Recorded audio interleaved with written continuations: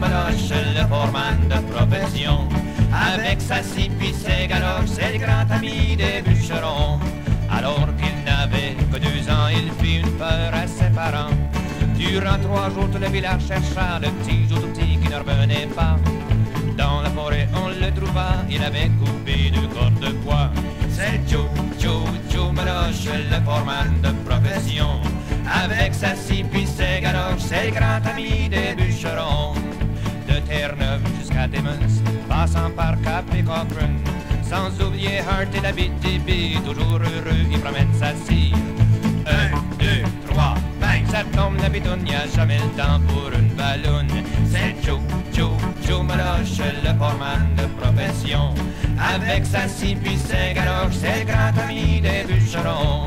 Le cœur aussi grand que ses mains, il travaille du soir au matin. L'hiver comme l'été, il arrête jamais, on l'entend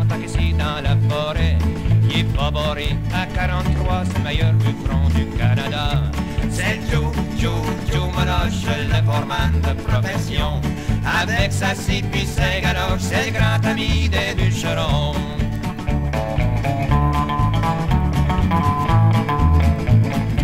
C'est Joe, Joe, Joe Meloche, le foreman de profession. Avec sa scie puis ses galoches, c'est le grand ami